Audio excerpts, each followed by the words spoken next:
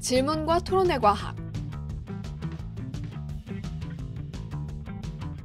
오늘 강연 들으신 분들 이런 생각하시는 경우도 많을 것 같습니다. 아니 왜 저렇게 어려운 수학을 할까? 순수 수학하는 사람들은 도대체 무슨 연구를 왜 할까? 지난번 3강 기하서 교수님의 강연도 리만 가설 난지를 갖다 푸는 거에서 이런 종류의 질문들이 많았습니다. 두 선생님들 순수 수학의 연구의 목표 왜 이런 연구를 하는 건가요? 뭐 문제라는 게 일단은 궁금하니까요. 예, 어떤 게 궁금하니까 그걸 알고 싶은 거죠. 예, 어떤 대상을 이해하고 싶은 거고 그리고 왜 이렇게 어려운 걸 하냐고 물어보셨는데 쉬운 건 다 했거든요. 그래서 어려운 걸 지금 하고 있는 거라고 말씀드릴 수 있고 사실은 이 어려운 것을 하는 목적은 어려운 것을 더 쉽게 만들고 더 조직적으로 이해하는 데 있다고 생각합니다. 네, 저도 뭐 같은 생각이고 일단은 호기심이 많은 수학자들의 가장 큰 원동력일 것입니다.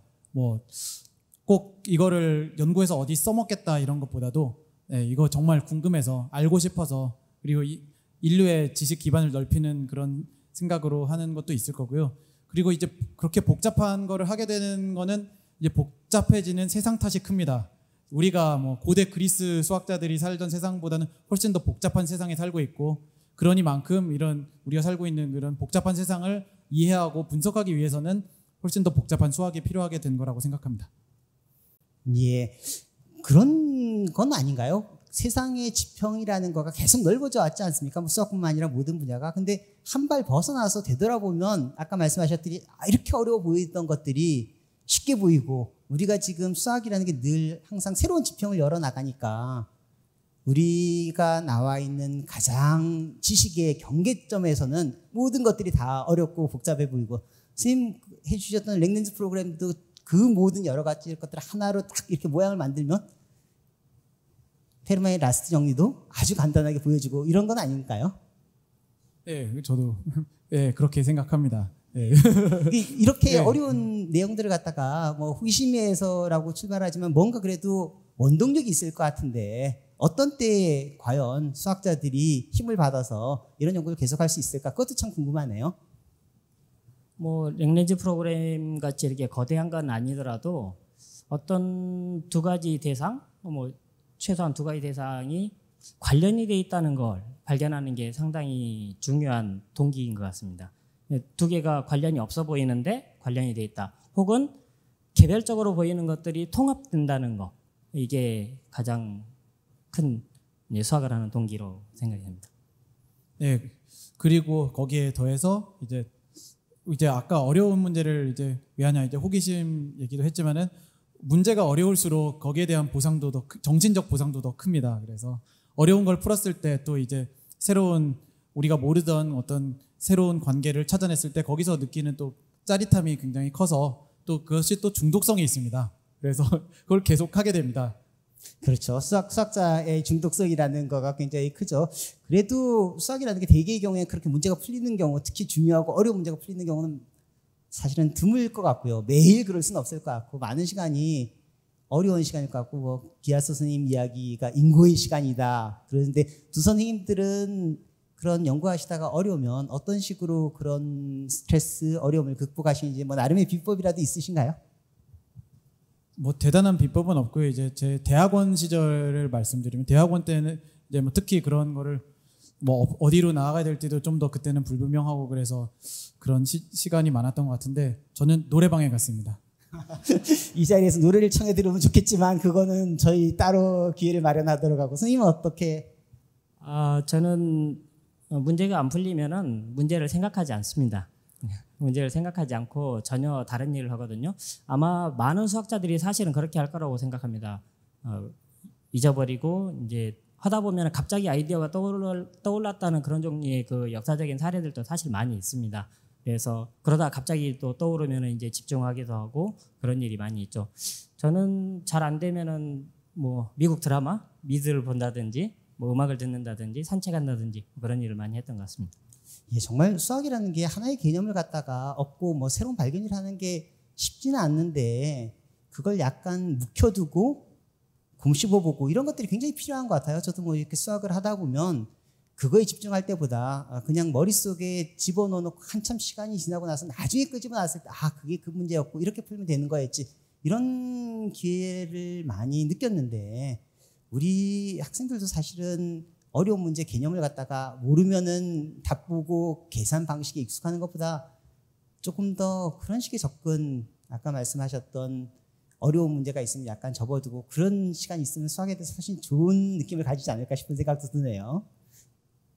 어, 수학의 좀더 이제 구체적인 이야기를 갖다가 해보도록 하죠. 지금 특히 랭렌즈 프로그램 같은 거가 이제 다양한 분야를 갖다가 통합하는 거라 그랬으니까 과연 수학에 어떤 분야들이 있는지 이제 그런 이야기들을 갖다가 좀 궁금해 하실 것 같아요. 저희가 이야기를 듣기로는 학생 때는 뭐 대수, 뭐 기하, 해석 뭐 이런 이야기들을 갖다가 많이들 들었었는데 학생 때 듣고 나서 잘 못 들으신 분들도 있을 것 같고 그 개념이 잘 와닿지 않는 분들도 있을 수 있을 것 같으니까 간단하게 한번 그 분야들이 어떤 분야들인지 말씀해 주시면 도움이 될 것 같습니다. 예, 보통은 이제 대수, 해석, 기하, 위상 이렇게 네 개로 나누는 게 보통이고요. 기하 와 위상은 같이 묶기도 합니다. 그래서 이제 크게 세 개라고 볼 수 있는데요. 대수는 어, 오늘 저 보셨던 정수론과 같은 이런 수라든지 아니면은 수학적 구조에 관한 이론입니다. 그래서 수학적 구조가 어떻게 다른지 어떻게 같은지 이런 것을 연구하는 학문이 기본적으로 대수학이고 물론 이제 방정식을 푼다든지 이런 것도 고전적인 의미에서의 대수학이고요. 기하학은 역사가 가장 오래된 그런 학문이죠. 어, 그 역사가 오래된 학문을 빼려고 하고 있습니다. 우리나라는.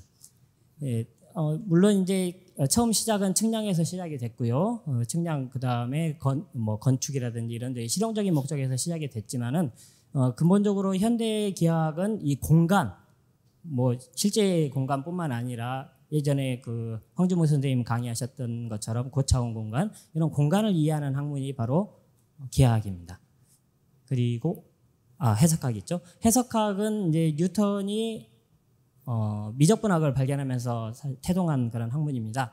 어, 미적분학은 물리학에서 응용하기 어, 음, 나온 그런 부분인데 그 미적분학을 정확하게 이해하기 위해서는 극한의 개념이 필요하고 함수에 대해서 우리가 정확하게 이해를 해야 된다. 수의 어, 연속성에 대해서 정확하게 이해해야 된다는 그런 생각에서 어, 나온 학문이 해석학입니다.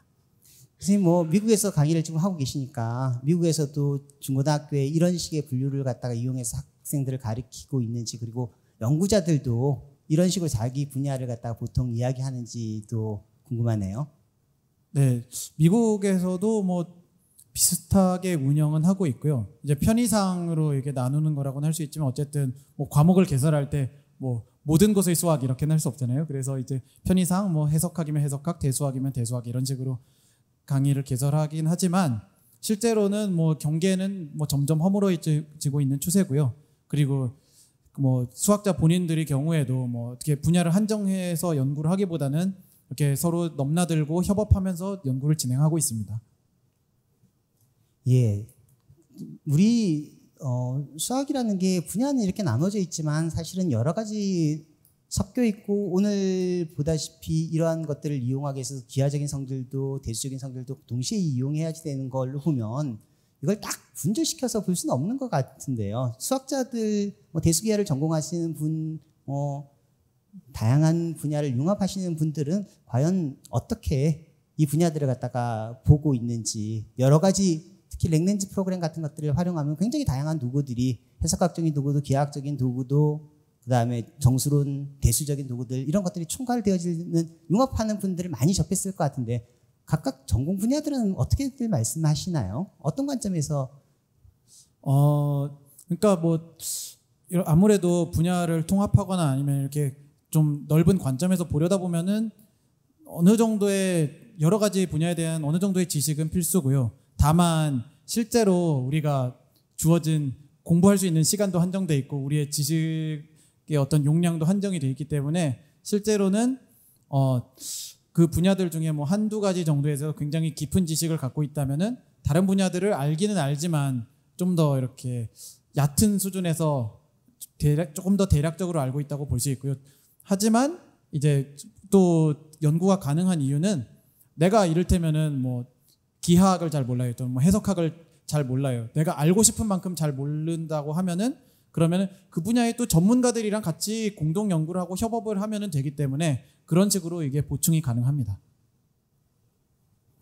예. 선생님 보시기에는 수학의 이 분야들이 어떤 식으로 연결되어 있고 우리가 교육 과정에서는 이 분야들을 갖다가 어떻게 다루는 거가 바람직할지 선생님 여러 대학생들을 갖다가 어, 기초 강의들도 많이 하시는 걸 알고 있는데 어, 이제 대표적으로 언급되는 게 해석 기하학이 있습니다. 해석학하고 기하학이 연결되어 있다는 건데요.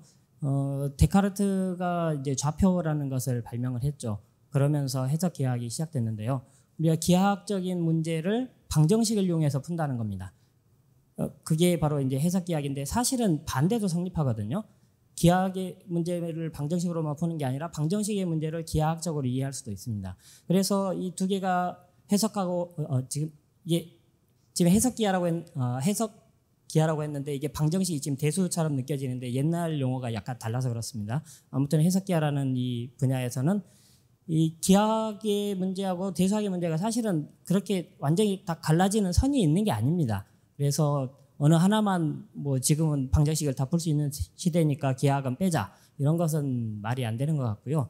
그리고 이제 제가 학생들을 가르치다 보면서 이제 점점 이 교과 과정이 줄어서 이제 들어오는 학생들이 있거든요. 어, 가르치기가 정말 힘듭니다.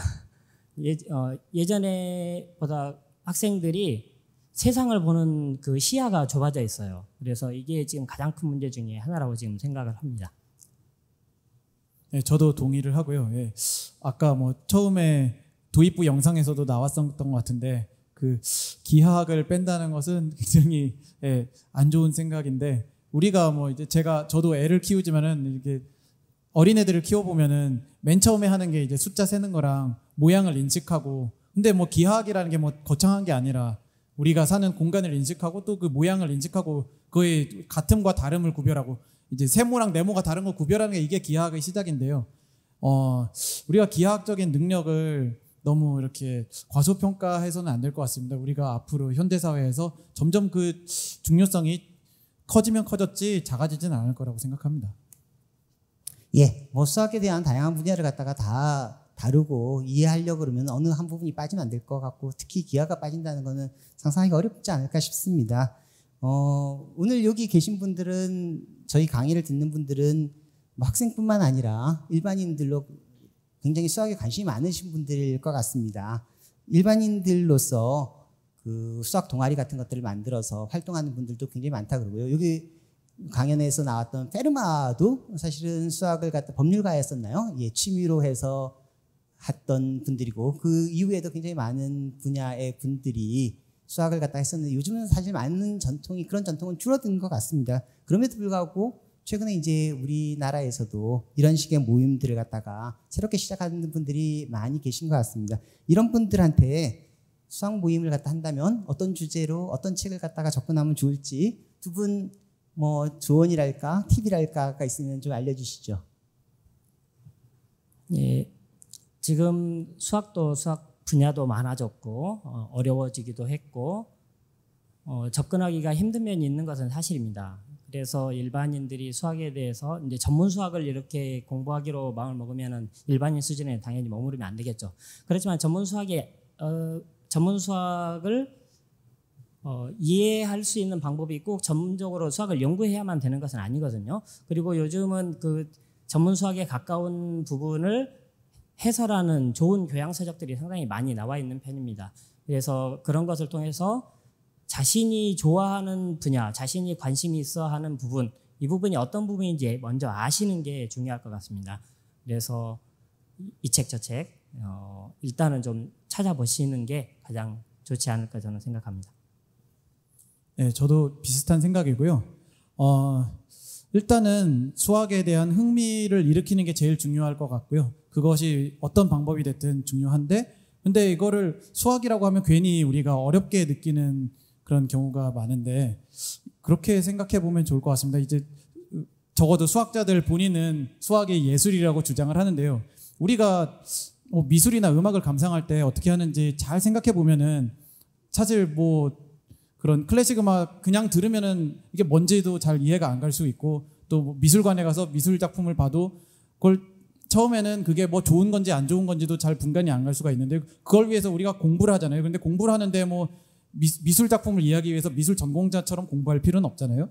그래 우리가 그림을 직접 그릴 필요도 없고요. 다만 이제 거기에 자기가 충분히 흥미를 느끼고 그림을 많이 보고 또 접하면서 거기에 대한 참고서적을 읽으면서 이렇게 진행할 수 있는데 수학도 마찬가지라고 생각하고요. 또 요즘 같은 시대에는 이렇게 지금 이 강연을 보시고 있는 분들처럼 이런 강연들을 더 쉽게 접할 수 있잖아요. 그 인터넷 매체를 통해서 녹음된 것들을 쉽게 접할 수 있는데 그런 것들을 또 많이 보는 것이 또 출발점이 될 수 있을 것 같습니다.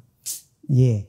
그 저는 이제 신 교수님이 고등학교 시절 이미 올림피아드 뭐 이런 데 나가서 여러 가지 두각을 나타냈다는 건 알았는데 조금 전에 승규식 선생님 오셔서 말씀 들어보니까 훨씬 전에 초등학교 때부터 이미 상당히 많은 것들에 관심이 있으셨던 것 같은데 그런 재능을 갖다 발견하려면 뭔가 계기가 있고 수학에 대한 흥미가 아주 어렸을 때부터 있으셨을 것 같은데 어떤 뭐 계기가 아니면 어렸을 때 본인의 취미나 뭐 특별히 수학에 대해서 더 관심을 가지게 된 동기 뭐 이런 거가 있으셨나요?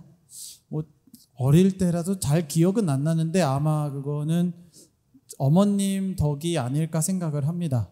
그래서 뭐 저는 어려서 정확히 기억은 안 나지만 뭐 어떻게 저를 유인했는지 모르겠는데 어느 순간 이제 숫자를 더하고 빼고 있는 저 자신을 발견하곤 했는데요. 네.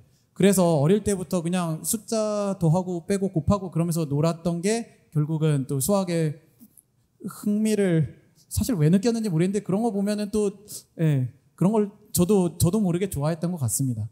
아니 이거는 적절한 표현인지 잘 모르겠는데 수학을 갖다가 한국 수학을 부흥하는 부흥시키는 방법은 어, 학생들을 잘 가리키고 전공자를 잘 가리키는 것보다 그 2세들을 잘 교육할 수 있는 엄마가 수학에 흥미를 가지도록 해야 된다. 이 말씀 누가 하시는 분이 있던데 여기 계시는 들으시는 분들도 우리 자녀분들이 수학에 수학을 잘하는 것보다 수학을 좋아하고 즐길 수 있는 환경을 만들어주는 것은 굉장히 중요할 것 같습니다. 네, 잘하는 것보다 정말 흥미를 가지는 게 더 중요한 것 같습니다. 특히 어린 나이에는 또 이제 질리면 안 되잖아요. 예, 여기 있는 수학 애호자 분들께서는 수학을 뭐 전공으로 하시든 아니시든 간에 관계없이 다들 1차적으로 수학에 대한 관심, 흥미가 제일 중요하다는 말씀에 100% 공감하실 수 있을 것 같습니다. 수학 분야가 여러 분야가 있지만 모두 다 매력적이고 뭐 이런 수학 전문가들이 하는 분야 아니더라도 다양한 분야에 대한 관심을 가지시고 나름의 수학적인 사고를 갖다 키워나가시면 참 의미 있을 것 같은데 혹시 뭐 두 분 그런 분들에게 뭐 조언이나 팁이나 아니면 뭐 추천할 만한 책이 있으시면 잠시 말씀해 주시는 걸로 일부 토의를 마칠까 합니다. 어, 저희 제 강연이랑 관련해서 제가 추천한 책이 있는데 뭐 뒤로 가면 약간 어려워질 수 있지만 그래도 그 내가 사랑한 수학이라는 책이 있습니다. 사실 제 버클리 동료 교수가 쓴 프랭켈 교수가 쓴 책이고요. 어, 한국어로도 번역이 돼서 나와서 어, 초반부가 굉장히 재밌습니다. 그분이 이제 러시아에서 태어나서 어떻게 이제 수학에 빠져들게 됐고 그런 과정들이 잘 나와 있어서 그걸 따라가면서 그냥 간, 그냥 즐기기만 하셔도 좋을 것 같습니다. 어, 저도 사실 그 책을 좀 봤는데요. 반밖에 안 봤습니다. 앞쪽이 재밌거든요. 네, 뒤쪽이 어렵습니다. 어, 조금 전에 제 여기 오면서 여기 인터파크 저 서점이 있어서 그 책을 뒷부분을 조금 읽었습니다. 그랬더니 어, 이제 물론 이제 저 전공자에 좀 가까운 사람으로서 더 재밌는 부분이 많았는데 일반인들은 약간 어려울 수는 있지만 뭐 그거 다 이해할 필요까지는 없고요. 항상 뭐 아 이런 말이구나 대강만 아시면 되니까 그 책도 저도 원래 좀 추천하려고 했던 그런 책인데 예, 오늘 주제하고도 관련이 있어서 어, 적극 권합니다.